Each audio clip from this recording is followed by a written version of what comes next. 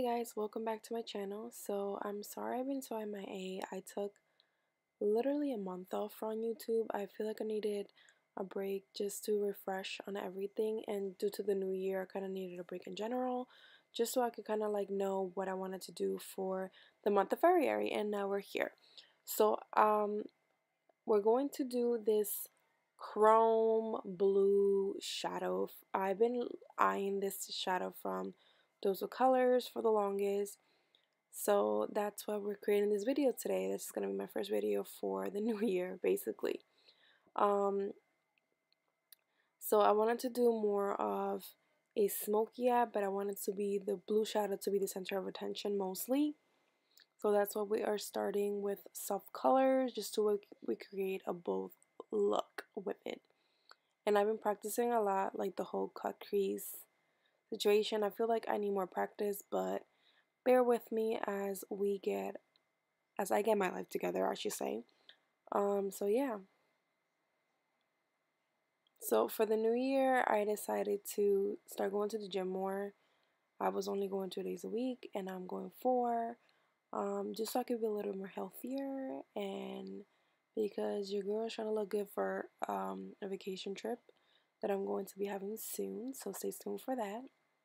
So this is the color that I'm using. It's actually by of Colors. is beautiful. Her chrome shadows are everything. So the color that I'm using by of Colors is called Teal Me More. It's just like this beautiful blue. Um, it's not like really of a dark blue. It's more of like a chrome blue, which I really love. And then what I'm doing is I'm just patting it down so I don't have too much of a fallout. And then a good tip that I actually learned, um, I think it was from either Desi or Karen, I'm not sure. But one of them was raving about it, so I was like, you know what, I need to give this a try. So that's why I decided to use this beautiful royal blue shadow. Um, so when it comes to cut crease, this is the way I do it. You guys don't necessarily have to do it like this. I like to grab more of a small detail brush, especially like the ones for liner, just to kind of create my cut crease just because my lids are kind of like more hidden. Um, so I kind of have to work a little bit harder just to create a cut crease.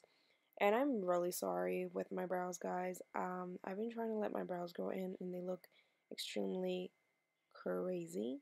So yeah, sorry. Um, so then I'm going with a like darker tone just to make the eyes pop more. And again, I'm using my fingers just to create more of a pigmentation to the shadow and for it to like stand out a little bit more, especially like in the middle. Actually, one of my coworkers showed me how to do that when you create more of a pigmentation to the shadow when you kind of just press it with your fingers. And I'm using the KKW concealer again. I used this in my last video for you guys to see how um, it works and it's actually really good. The coverage is amazing. It kind of reminds me of the Tarte Shape Tape. Just this one's a little bit um, less um, heavy on the skin.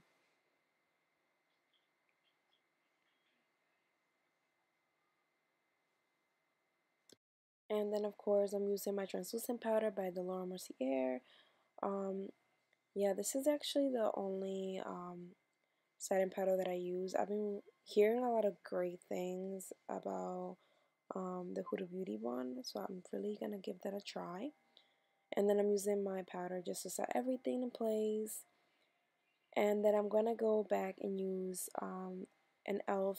pencil just to put black eyeliner in my waterline just to make the eyes pop. And so there's more drama. After that, I'm going to go and use a smaller brush and just smudge it out just to make everything pop. And again, for more drama, more drama for your mama. Um, and then after that, I'm going to be using a bronzer just to chisel my cheeks and to kind of just make my cheekbones have a little bit more drama as well. The bronzer that I'm using here is actually by Estee Lauder. It's the Bronze Goddess one in Deep. I feel like the light and medium are a little bit red on me, so that's why I use the darkest color that they have, which is Deep for my skin tone. And then I'm going to be using my Amrezy highlighter, which I love and I'm obsessed with.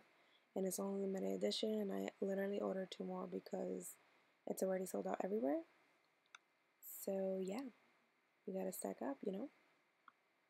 And of course, I always use it in my inner corners as well, just to make the eyes pop.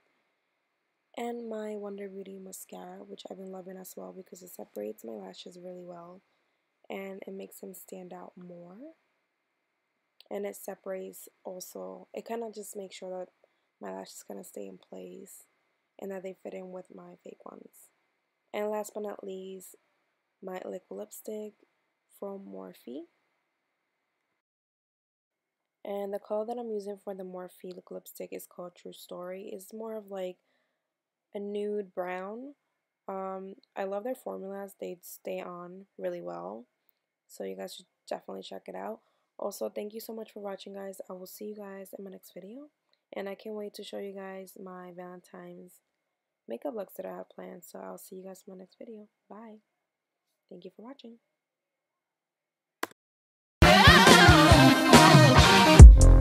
You know what to say on my way out. Hit me with the hip in a while. Now I'm going straight through the fire.